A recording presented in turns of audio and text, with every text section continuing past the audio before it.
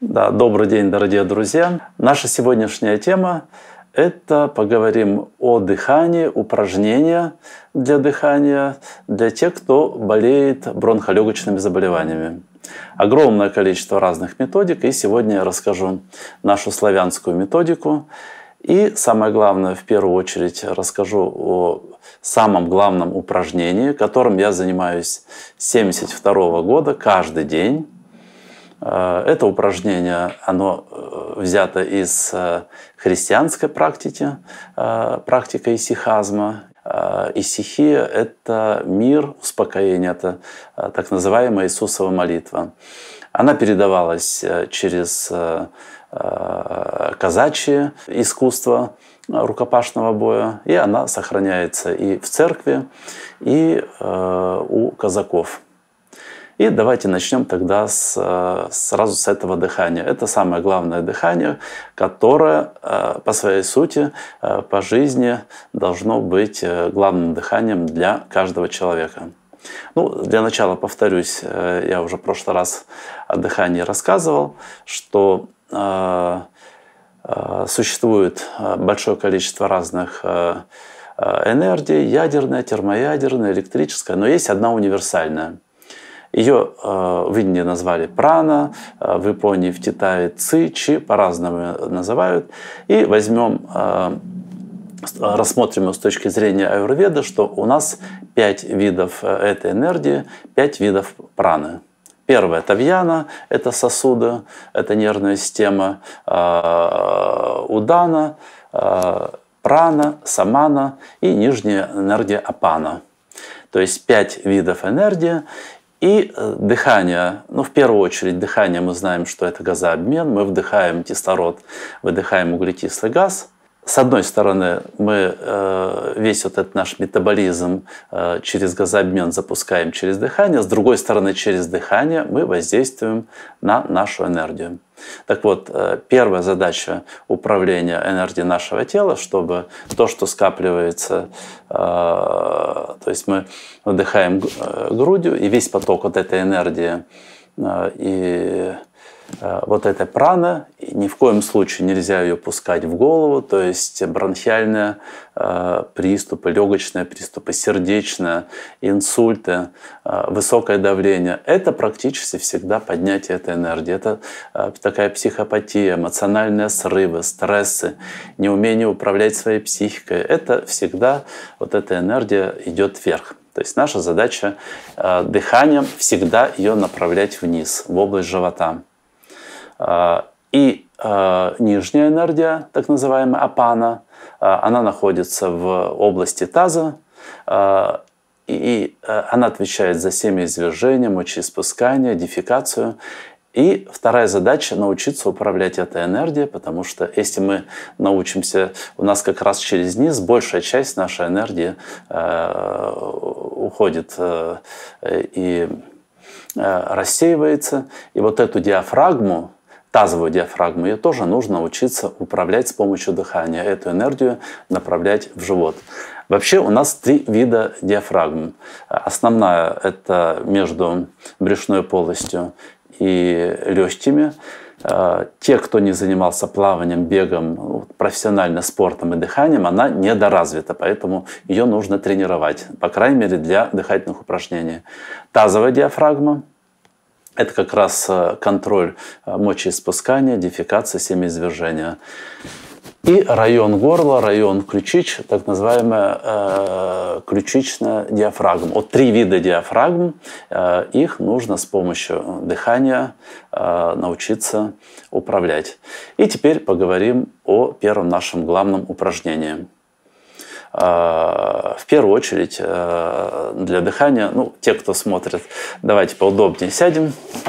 Э, если сейчас вам удобно, мы сразу подышим, распрямляем плечики, распрямляем грудь, ребрышки. И вот такое возникнуть должно ощущение, как будто нас за макушку подвешивают. Таким образом у нас позвоночник выпрямляется и распрямляются легкие. То есть один из самых важных моментов, чтобы легкие, которые часто в таком сжатом состоянии, они расправились. и э, себя подвешиваем, выпрямляемся, и все внимание на животе. Э, вот как мы сказали, э, грудное грудная энергия она должна опускаться э, в область пупка, нижняя должна подниматься в область пупка. Эта энергия у нас не будет э, давать нам стрессов, давления и эмоциональных взрывов. Нижняя энергия, э, нижняя диафрагма тазовая не будет выбрасывать все нижние энергии и будет контролировать семяизвержение, опять же, дефекацию и мочеиспускание. И мы концентрируем сейчас на области живота, и дыхание не должно быть, э, то есть не должно быть вот этой гипервентиляции, то есть легкое дыхание, вдох носом, выдох ртом, и вначале мы дышим верхней частью легких. А, сразу вот еще один момент расскажу, а, что существует три вида ритмов, ну, базовых. Это ритм дыхания, сердечный ритм и ритм э, спинномозговой жидкости. Так вот, в дыхании эти все три ритма, их э, постепенно нужно отрабатывать. Э, в, данной э, нашей, в данном нашем дыхании мы должны научиться чувствовать сердечный ритм. Пока не будем обращать внимание, потому что со временем, если мы будем заниматься серьезно вот этим упражнением, то ритмы сердца, они должны, или удары сердца, они должны постепенно совпадать в определенном ритме со вдохом-выдохом. Пока мы просто концентрируясь на животе, делая вдох носом, выдох ртом, опускаем энергию вниз из груди, и нижнюю энергию мы просто чувствуем, как будто поджимаем область э, крестца. И делаем вдох носом, выдох ртом и дышим э, верхней части легких. Чтобы э, раздышаться в этом упражнении, иногда уходит час просто чтобы э, почувствовать глубину вот этого дыхания. Если мы делаем э, это дыхание. Мы постепенно, э, не, ну, не должно никакого насилия, чтобы резко э, удлинять вдох, э, удлинять выдох. Мы просто медленно дышим и постепенно, через минут 10, верхнее дыхание, оно перейдет в среднее. Еще через минут 10, э, у нас нет столько времени, чтобы час делать одно упражнение, э, среднее, оно постепенно начнет переходить в нижнее. И вот когда вот этот естественный процесс э, вдох-выдох, он начинает удлиняться, и вот первые задержки, они э, должны быть естественные, и они могут наступить через минут 20, 30, 40, и не должны они быть искусственными. То есть можно 3 секунды задержать, можно 5, можно 10. И постепенно замедляется вдох-выдох. Мы концентрируемся на области пупка и можем добавить вот то, что у нас э, та молитва, которая используется в практике исихазма, э, в христианстве, в православии, это Иисусова молитва, полная на Господе Иисусе Христе, Сыне Божий, помилуй меня. Но обычно вот я всегда на вдохе Господи, на выдохе помилуй сердечным ритмом. Это можно читать, можно не читать. Мы сейчас говорим о лечебном дыхании, но в практике в казачьи православная, это всегда делалось с молитвой. И в конце концов молитва, она войдет в дыхание, и человек просто дышит, и у него внутри внутренняя молитва. Но это опять же, мы сейчас говорим о здоровье и о дыхании. И вот постепенно мы э, успокаиваем, всю энергию собираем в области пупка, и э, в области э, живота как раз собирается, э, он должен образоваться как шар, шар энергии. Это первое, самое основное упражнение, которое, как я уже сказал, я делаю с 1972 года каждый день. И ну, что я могу сказать о результатах? Что в 1973 году с помощью этого дыхания я научился засыпать за одну минуту. И сон, допустим, э, вот у меня тогда, у меня задача, я там много тренировался физически, и я научился спать на 3 минуты, на 5, на 10, по желанию просыпался. Эту практику я всю жизнь, вот с 72 года, каждый день много раз делаю, э, и умение погружать себя в сон, это в первую очередь через дыхание. Второе, что научился через дыхание, э, научился управлять пищеварением. Э, то есть выделением, э, если, допустим, есть какой-то застой в желчи, выделение желчи, проводить, если, допустим, сильно поел, можно через дыхание быстрее провести пищу по пищеварению. Если, допустим, э, тахикардия, допустим, у меня, естественно, в детстве этого не было, и по, по жизни этого не было, но, допустим, при каком-то стрессе, при перегрузке, э, это управление ритмом сердца, это если, не дай бог, у человека повышается давление, можно э, опускать давление, то есть мы эту энергию опускаем в область живота. Если, не дай бог, у человека бронхиальная астма, э, мы опять же тоже эту энергию опускаем вниз. Что такое, допустим, приступ э, бронхиальной астмы? Ну, как правило, она имеет э, характер какого-нибудь вида аллергии. Очень многих после прививок она начинается.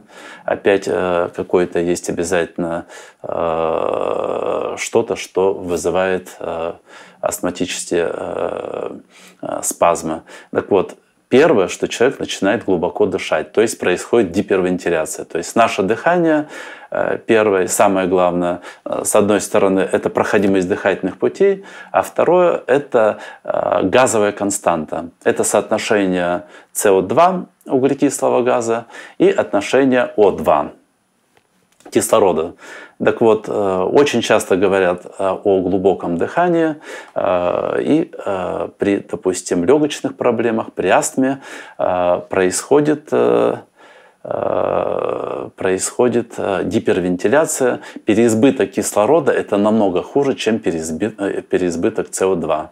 Когда ребенок находится в утробе, у него СО2, углекислого газа в крови на порядок больше, чем кислорода. Ну, примерно 6,5 э, э, или 6 единиц СО2 и кислорода 4,4,5. Когда он рождается, э, у него кислорода уже 21, и углекислого газа, вот помните, было 6,5, углекислого газа 0,03. Углекислый газ, он больше всего участвует в обменных процессах. А, и в данном случае вот как раз наше дыхание – это а, управление а, и накопление углекислым газом и управление энергией. Так вот, вот это как раз дыхание, э, с одной стороны, нам дает э, медленный вдох-выдох. Мы учимся э, плавно контролировать, задерживать. То есть, если мы раздышимся, допустим, 20-30 минут, то вдох-выдох может быть примерно два вдоха-выдоха в минуту. Можно дойти до одного вдоха-выдоха. В данном случае мы э, с обычного дыхания э, мы э, как бы накапливаем огромное количество углекислоты и того потенциала, который может бороться и при гипертонических кризах, при сердечных приступах, при, при астме и даже при легочных заболеваниях. То у меня сейчас за этот период прошло примерно 70 пациентов с коронавирусом, из них 50 было больных воспалением легких, ни один человек не задал мне, в основном я по телефону общался, чтобы не заразиться, ни один человек не задал ни одного вопроса по поводу дыхания. Хотя первое, что надо было начинать с нашего дыхания. И вот мы опять же возьмем, э, э, допустим, при э, вот этой коронавирусной пневмонии, что может дать нам это дыхание. В первую очередь, эта пневмония возникает из-за тромбоза, те артерии, которые питают легкие, они тромбируются, нет питания, возникает э, сама пневмония. Э, мы много раз, вот у меня здесь на подоконнике всегда микроскоп, много раз пробовали, мы берем кровь, смотрим, там стаз, все стоит, человек 10, 15, 20 минут делает дыхательное упражнение, все эритроциты начинают двигаться, разлепляются, округляются, то есть идет процесс разжижения крови. То есть, если мы при вот данной коронавирусной инфекции, когда возникает пневмония, начинаем делать дыхание, не вот, э, вот эту гипервентиляцию делаем, а наоборот успокаиваем, а, очень медленно дышим, э, концентрируемся на животе, можем подключить, опять же, Господи, э, помилуй. И постепенно у нас, допустим, 6 вдохов, вдохов, выдохов, потом 5, 4, 3. Идет накопление углекислоты, и мы начинаем контролировать как раз э, э, состояние нашей крови, которая питает легкие. В данном случае, чем больше углекислоты, ну, в данном случае речь идет о э, состоянии вот этой константы в альвеолах, куда через э, дыхательные пути попадает воздух. И вот это соотношение большего количества углекислоты, чем кислорода, оно в первую очередь должно присутствовать. Если мы по часу будем, вот, допустим, при этой пневмонии дышать, то у нас изречение, оно, я считаю, что на 50% Э, будет э, длиннее. Это первое, самое главное упражнение, которое дает человеку возможность э, сосредоточить энергию в области пупка. Оно дает возможность как раз вот родить тот огонь, который постепенно потом можно направлять в любую часть нашего тела. И это дыхание, оно постепенно, то есть, во-первых, э, может э, увеличить объем легких, как я говорил, начинается с верхней части, и постепенно всегда оно переходит в среднее, в нижнее, и, естественно, переходит в задержки. Задержки увеличиваются, вдох, выдох увеличивается, и вот с того момента, когда мы раздышались, мы можем уже направить эту энергию, ну, допустим, у нас э, к примеру, проблема с легкими. Опять же, мы можем э, постепенно расширять, э, а если все альвеолы, из которых легкие состоят, э, их расстелить, это получится практически такое ну, среднее футбольное поле. Так вот, мы распрямляем, мы чувствуем каждую часть нашего легкого, и мы можем уже управлять энергией и константой Э, газообмена, и энергия и легких, и живота, и, скажем, нижней диафрагмы. Ну, так, смотрю сейчас на вопросы. Э, вопрос, нужно дышать грудью или животом? Это очень правильный вопрос, потому что э, дыхание всегда, оно не должно быть частым и вот этим глубоким, оно должно быть всегда начинаться с верхней части, так, чтобы легкие не ходили, но все внимание должно быть в области пупка. То есть это как центр, это как шар. Вот, скажем, Симеон Новый Богослов, это 9 век, это христианский святой, он говорил, что э, веселье, э, внимание все обратили в пупок, э, свой ум э, заключили в клеть свою и начали дышать через пупок. Медленный вдох носом, медленный выдох ртом, успокаиваемся, всю энергию с головы опускаем в живот, но дышим верхней частью. Мы не делаем насильственных удлинений и насильственных задержек. Естественно, ниже, э, верхняя в среднее переходит, в нижнее, и потом э, задержку на выдохе. Следующий вопрос. Вот вопрос тут про кисты. Можно ли делать вашу гимнастику? Операция была три года три года назад. Э, если мы, допустим, вот это первое упражнение регулярно э, выполняем, его можно, допустим, при ходьбе выполнять, там 4 шага вдох, 4 выдох, вдох носом, выдох ртом. А, если мы выполняем, допустим, 30-60 минут каждый день, мы научились энергию эту опускать, нижнюю поднимать, и уже почувствовали, а, то есть вот это дыхание, оно как раз запускает вот это АТФ клеток, запускает энергию, которой потом можно управлять. Эту энергию можно направить уже на область э, нижней э, диафрагмы, там, где находятся как раз кисты. Можно, это уже женское дыхание, вот эти кисты можно, в принципе, только через дыхание, могу сказать на 100%, можно кисты вылечить только через дыхание. Э, кисты яичников – это всегда э, гормональный дисбаланс. он абсолютно точно дыханием лечится. Но это уже другая гимнастика. Сегодня о женском дыхании не буду говорить, но это абсолютно можно 100% вылечить. Следующий вопрос.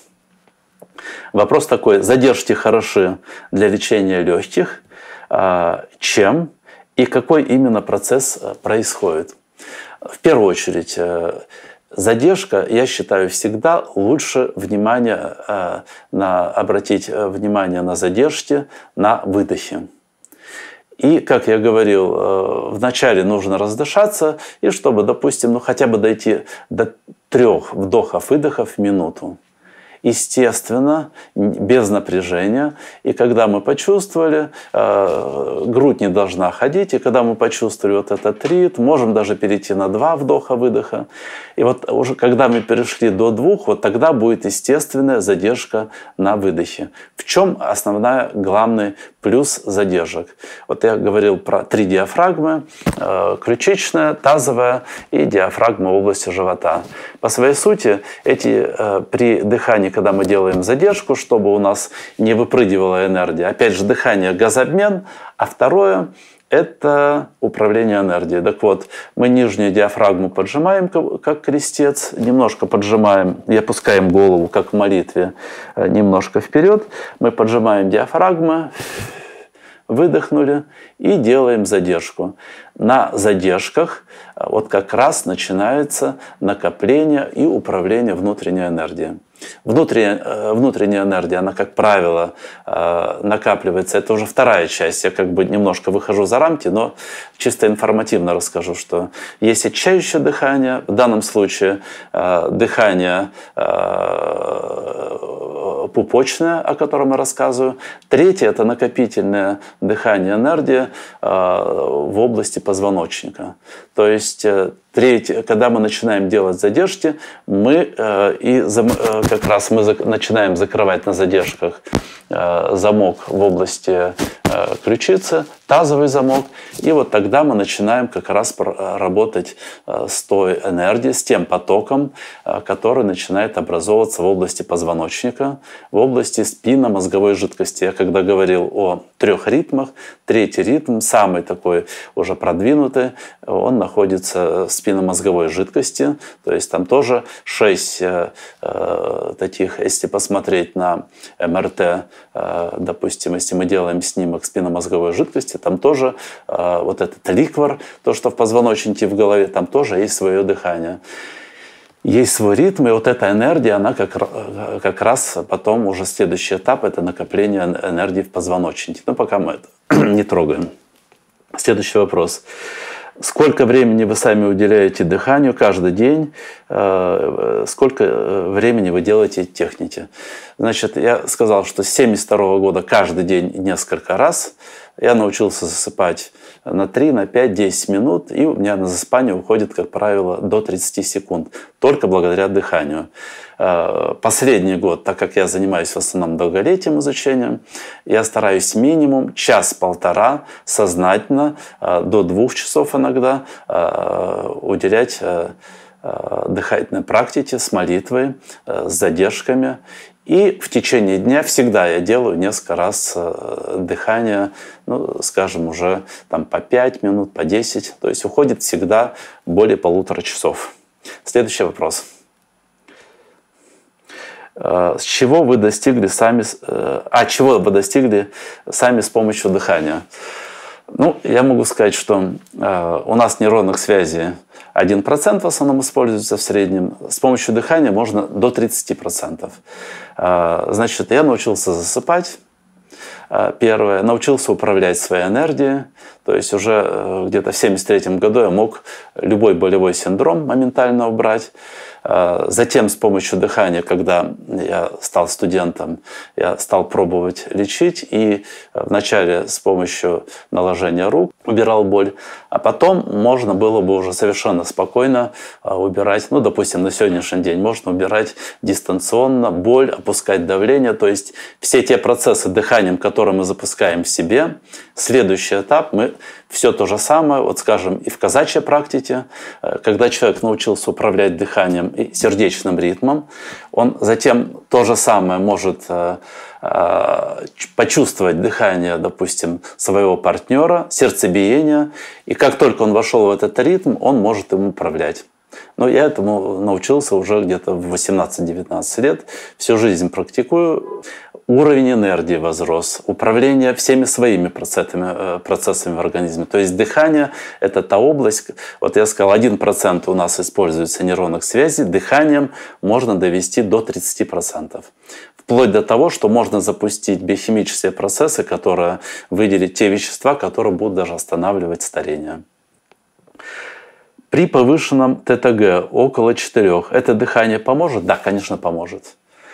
Однозначно поможет. Конечно, нужно смотреть, э, э, ну, в первую очередь, э, я всегда вначале работаю с шеей, смотрю шейный отдел позвоночника, и однозначно можно э, прорабатывать, ну мы сейчас на, этом, на этой теме не будем э, концентрироваться, я могу сказать, что однозначно проблемы щитовидной железы и гормонов, и стрессов, это стопроцентно, это тема как раз дыхания. Можно научиться абсолютно точно управлять.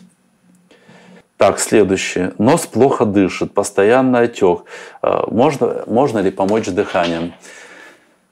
Ну, в первую очередь, э, там может быть э, какая-то бактериальная инфекция. То есть нужно, конечно, исследовать, но чтобы я с чего бы начал, в первую очередь я посмотрел на бактериальные инфекции раз.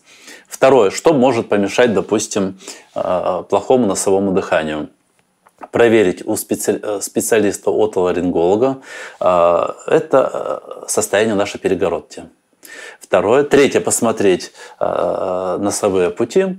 Если перегородка нормальная э, и нет инфекции, то совершенно спокойно я бы посоветовал начать с обычного промывания носа. Там брать 200 грамм комнаты температуры, морская соль. Можно добавить противовирусных, противомикробных трав. У нас вот есть, допустим, антикрепин, наш состав. Делать отвар, им промывать, прямо чайничком заливать э, в одну ноздрю, в другую вытекало.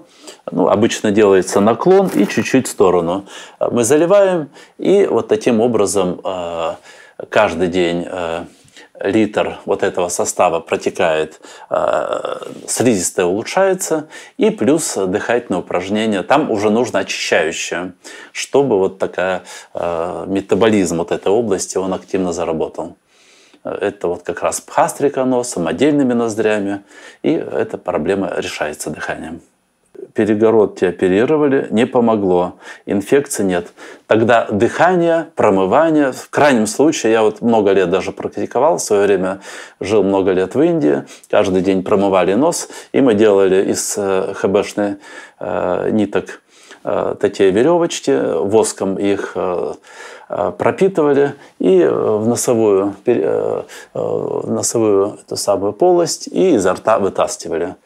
Вначале э, человек начинает э, огромное количество слизи, у нас здесь 5 пазух, скапливается слизь, чихаешь, э, не можешь туда протолкнуть, на третий день она проходит, и вот по горсти выходит слизи из носа, на пятый день ощущение, что нос совершенно по-другому начинает дышать.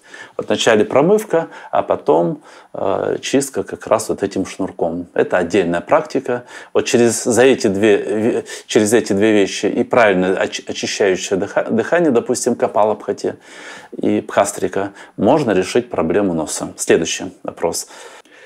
Дыхание влияет ли на уменьшение артроза и варикоза?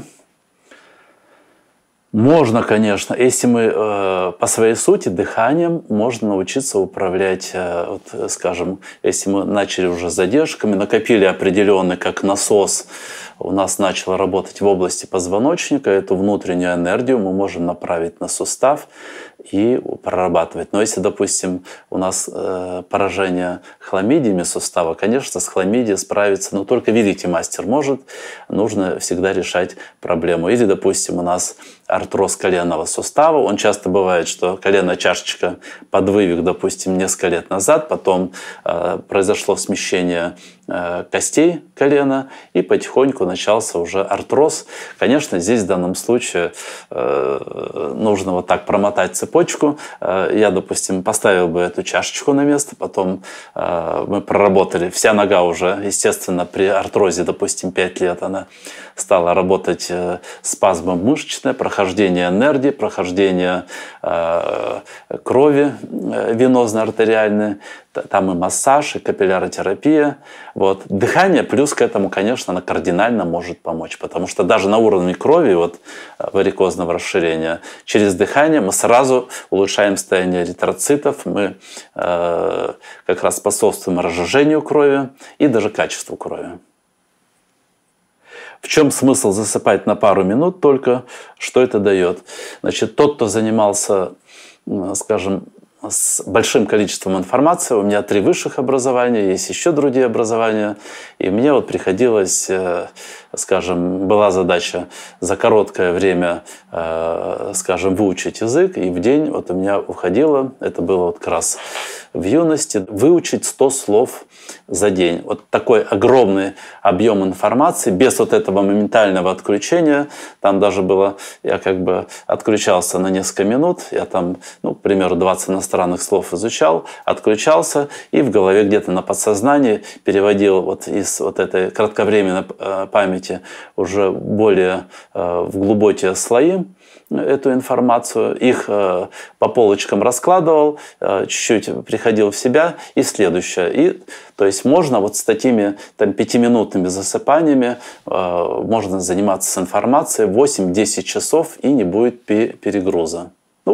Как вот у меня, допустим, было. Можно в разных сферах. Можно спортсменом, допустим. Человек час потренировался, на 5 минут отключился, просмотрел свои движения, правильность, э, эмоционально отдохнул, через 5 минут встал, он э, свеженький, может следующий час-два тренироваться доктор Тиста была в, лег, в легком. Но здесь то же самое. Э, все проблемы, допустим, легких, они в первую очередь э, э, приходят к состоянию СО2 и О2 в легких. Через дыхание как раз уменьшая гипервентиляцию легких, уменьшая количество потребления кислорода, потому что первое, это надо сократить количество кислорода, которое поступает в легкие, и увеличить количество углекислоты. Это самая сильная э, э, практика для лечения легких и наших дыхательных путей. Поэтому можно э, бороться с разными патологиями. Следующий вопрос. Если брать за основу концепцию, что в человеке есть как мужское, так и женское начало или энергия, но дыхание все же разделяется на мужское и женское дыхание, ну как бы у нас мы знаем, что два полушария, то есть правая сторона мужская, э, левая женская, э, затем э, в области позвоночника идет перекрест. Если правое, оно переходит, то есть левое полушарие управляет правой частью нашего тела и правое левым. Потому что когда происходит инсульт, допустим, в правом полушарии, идет паралич левой части. Так вот, можно, допустим, продыхивать э, определенные и полушария, и каналы, с одной стороны. С другой стороны, мужское женское, что э, женщины, я вообще всегда, когда об этом говорю, что э, женщины, у них невероятный потенциал энергии, который находится в женском центре. Мужчины в этом плане ущербны, то есть женский центр, который находится в области матки, это не сама матка, Э, это связано с энергией Земли, и женщины, если они эту энергию начинают э, работать с этой энергией и, и учатся ей управлять, это просто какой-то не, нереальный э, такой поток идет силы, который мужчина, чтобы достичь вот этого уровня, э, ну скажем, э, праны в организме, если женщина единственное, что если она это э, научилась делать и направила в позвоночник, то э, мужчине иногда годы уходят, чтобы достичь э, того, что женщина может за одну неделю. Вот. Это женское дыхание. Мужское дыхание, оно совершенно, мужская энергия больше находится в области живота, хотя можно и через простату, но это дыхание слабое. Вот. Ну, в общем, коротенько на вопрос ответил. Следующее. Значит, какие упражнения дыхания нужно делать после ковида? Да, э, меня как раз спрашивают, что основное упражнение, сейчас коротенько расскажу, покажу э, три упражнения базовые для тех, у кого проблема бронхолегочная, допустим, бронхиальная астма или тяжелая пневмония. Это легкое дыхание. Сажусь поудобнее.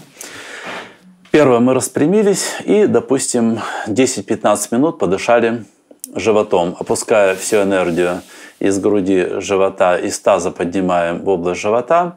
Вдох носом, выдох ртом – это первое упражнение.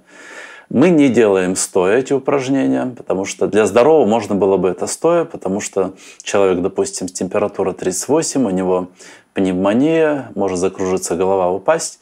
Вот. Первое, второе упражнение, мы руками упираемся в бедра, округляем спину, и делаем то же самое дыхание, легкое, но мы начинаем продыхивать, начинаем, вот постарайтесь за мной повторить, э, в основном, я думаю, смотрят люди здоровые, поэтому можете стать, э, упереться э, в бедра, ножки немножко шире, чуть колени согнуть.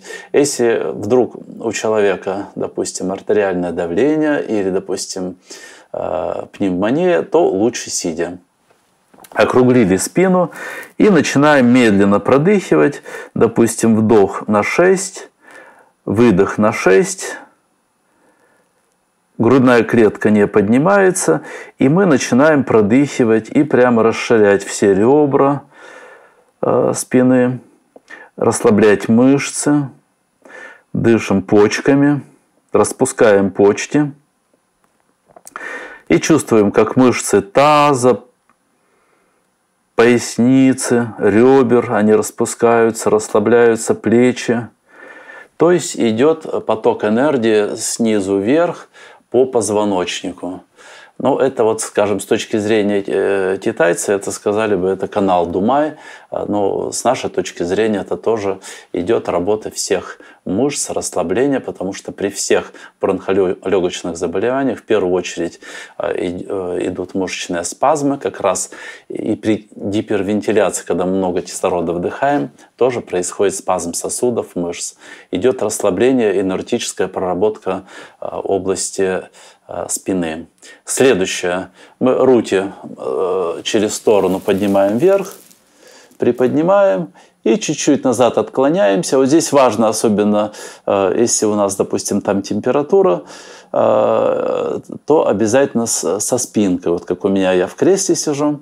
И чуть-чуть раскачиваясь, мы также дышим животом и прорабатываем все-все межреберные мышцы, распускаем легкие, Дыхание не глубокое, медленное, концентрация на животе, и мы чуть-чуть, потряхивая тело, э, мы освобождаем, вот особенно при бронхиальной астме, при приступах, вот эти точки, если мы начинаем массировать, приступ сразу уходит. И этим дыханием мы потихоньку, распуская мышцы, начинаем э, продыхивать прямо через мышцы, распуская. Но это может тоже вот 2-3 э, минуты, и затем мы в другую сторону руки опускаем. Выдохнули, и затем опять вдох, и опять э, можем 2-3 минуты подышать, чуть потряхивая, распуская все-все грудные э, если, э, опять же, с точки зрения китайской медицины, то есть мы там энергию проработали вдоль позвоночника, то здесь Э, передний канал, то есть мы распустили все мышцы, энергию опустили в живот. Следующее, то есть мы э, все наши э, реберные, межреберные мышцы, диафрагмальные э, проработали. Следующее упражнение. Начинаем правую руку мы приподнимаем, левой упираемся в область талии, чуть-чуть наклон, и также начинаем продыхивать. И продыхиваем уже все боковые мышцы. Это старославянская практика. И именно при бронхолегочных заболеваниях, при температуре, при вирусе. И вот продыхиваем также медленно вдох носа, выдох ртом, все межреберные мышцы, косую мышцу, область живота. Выравниваем, выравниваем дыхание. И то же самое э, другой рукой упираемся. И теперь левой то же самое. Можно наклон увеличить. Если стоя, можно значительно увеличить. И продыхиваем другую часть. И вот должно возникнуть ощущение, что пошла энергия, тепло по левой части. И мы продыхиваем мысленно именно все межреберные мышцы, косую мышцу, диафрагму со стороны э, левого бока. И вот немножко, даже чуть-чуть можно потряхивая, чтобы все мышцы распустились. Медленно опускаем. То есть, э, смотрите, мы продышали э, все мышцы спины, ребра, позвоночник вначале при вот этом дыхании. Затем мы э, подняли ручки, мы э, продышали межреберные с передней стороны и все распустили, расслабили. И при этом, опять же, никаких глубоких вдохов-выдохов. Сохраняется медленное дыхание. Затем мы правый бок продышали, левый. Вот э, если с китайцами поговорить, они бы сказали, что есть э, ток энергии по основным 12 меридианам, э, по которым в основном энергия движется потому что они связаны там с легкими, с желудком, с сердцем. Э, то есть э, есть кровеносная система, нервная и энергетическая система. Есть система чудесных меридианов. Эти меридианы, они как раз занимаются тем, что они накапливают энергию, и когда нам нужно, мы э, эту энергию используем. Так вот, вот это дыхание, оно как раз с точки зрения китайской медицины, использование тех резервных потенциалов, которые у нас есть, или энергия чудесных меридианов. И каждый самый такой больной даже человек э, с сильной патологией, допустим, бронхиальной, или, допустим, 50% поражения легочной ткани при пневмонии, он может продыхивать, у него начинают распускаться все, э, все мышцы, э, начинает более активно вегетативная нервная система работать, э, улучшается газообмен, так как мы медленно, больше углекислоты, мы через эти упражнения останавливаем развитие пневмонии. Дальше мы дышим медленно, Соответственно, у нас тромбоз, вот этот коронавирус в первую очередь поражает эндотелии, кровь, эритроциты, крови, гемоглобин у нас э, эритроциты разлепляются, кровь начинает лучше течь, уходят тромбы, и мы через если час, два, три в день мы будем делать эти упражнения, я считаю, что, э, скажем, вот эта коронавирусная инфекция, потому что здесь ну, просто из э, пушки по воробьям в небо мы стреляем, там противомалярийные препараты, антибиотики, и непонятно, то есть точного лечения нету. Вот это дыхание, могу сказать, 50% лечения оно могло бы дать. Понятно, что кликсан колет, кликсан – это антикоагулянт, разжижает кровь, но человек лечится дома, он не знает, э, какие антикоагулянты, потому что противосвертывающую систему тоже можно нарушить вот э, таким неправильным применением антикоагулянтов. Дыхание – это самый лучший антикоагулянт, разжижитель крови. Вот, поэтому вот эти три упражнения, они направлены на э, улучшение константы газовой, увеличение э, СО2 э, в легких, в крови и, соответственно, потом уже в тканях. Второе, мы таким образом распускаем все мышцы спины, груди, живота и боковые реберные. И третье, э, просто начинает э, э, такой улучшаться энерго, э, правильный энергообмен тела. То есть через эти упражнения можно, я говорю, до трех часов в день делать и остановить, э, скажем, приступы бронхиальной астмы. Это сто процентов можно остановить, потому что это всегда идут спазмы, спазмы сосудистые, бронхиальные спазмы. И через дыхание э, э, однозначно сто процентов можно. И постепенно можно, конечно, и вылечить тоже бронхиальная астма. Хотя она имеет аллергический характер, но там уже следующие э, как бы, этапы э, можно уже и с этими проблемами. Сейчас пока на уровне газообмена и энергии. Так, следующий вопрос. Не знаю, время осталось или нет. Так, время еще есть, да. Повторите, пожалуйста, цикл дыхания с задержкой. Вот я не совсем точно э, понимаю вопрос, но по задержкам просто расскажу, что э, ну, только по нашему упражнению по вот этому казачьему или по э, христианскому дыханию с Иисусовой молитвой, что э, в этом дыхании оно отличается от всех других, от китайских, от индийских. Э, здесь не должно быть сознательно, скажем, искусственно мы увеличиваем вдох, выдох, искусственную задержку. Мы просто приняли позу и начинаем вдох носом, выдох ртом и верхнее дыхание. Постепенно оно начинает замедляться, переходит в среднее, переходит в нижнее, и вот она примерно через 30 минут, оно естественно переходит к задержкам на выдохе. На выдохе это самое важное задержьте, потому что на вдохе задержьте. Мы не знаем, у человека может быть там проблема с тромбами, у него проблема с давлением. Очень многие люди при неправильных задержках на вдохе у них резко подскакивало давление там до 200 а, то есть никогда не надо начинать, а, ну скажем, не, э, там, если человек спортсмен, для него это легко, только на выдохе. И задержки они могут от 3, 5, 10, 20 секунд.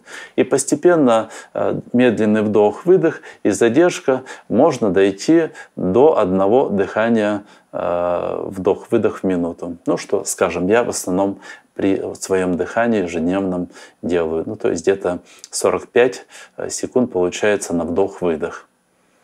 Следующий вопрос. Добрый день. Можно ли вылечить э, варикозное расширение вен после операции по удалению лазером?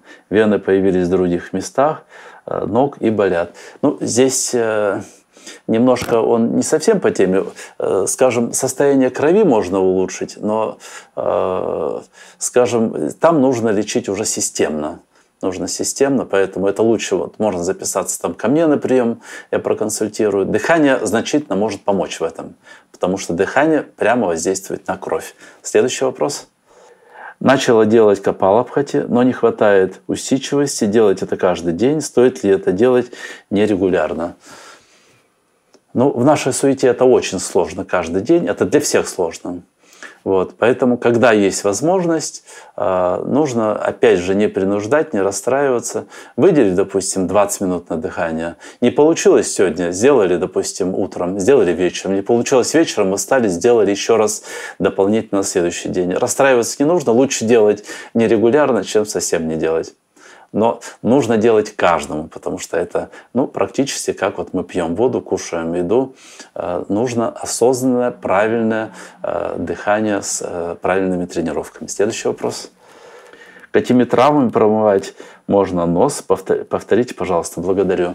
А, если, допустим, у нас какая-то бактериальная инфекция, это есть огромное количество способов проверить.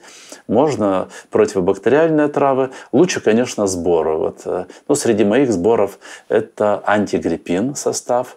А, есть белое крыло, потому что там до 15 трав. Я все травы повторять э, не буду. Ну, допустим, если из трав, вот э, одно из таких сильных противовирусных, допустим, дипекум, вот мы ее там в Монголии или в Иркутской области собираем. Вот. Ну, противобактериальных, там, начиная с календулы и их десятки разных трав, лучше сборы готовые брать. И вот 33 травы, допустим, из моих сборов. И делать уже экстракты и промывать. Следующий вопрос. Какой цикл дыхания применять в случае стрессовой ситуации? Дыхание, оно нарабатывается, потому что э, вначале мы там делаем 6-8 вдохов-выдохов за минуту, постепенно медленнее-медленнее. Если человек регулярно нарабатывает, то э, стресс можно, э, скажем, продышать, такой термин, продышать за 2-3 минуты и полностью. Что такое стресс?